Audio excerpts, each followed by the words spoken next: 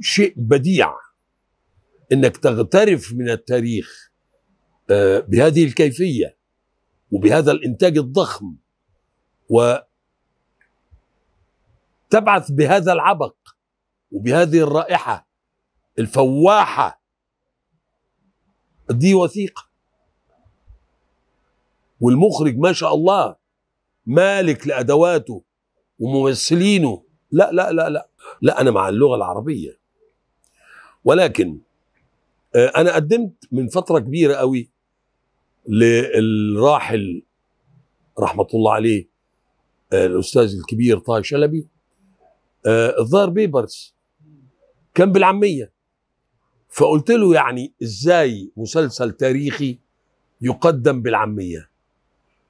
فقال لي في هذه الفترة ما كان للغة العربية وجود. اللغة العربية كانت لغة المخاطبة والمراسلات بين الدواوين في الحكومة. لكن الحياة مستقرة باللهجة العامية. فهل آتي ببدعة؟ أنا نقلت ريحة هذا العصر. فكان معاه حجته.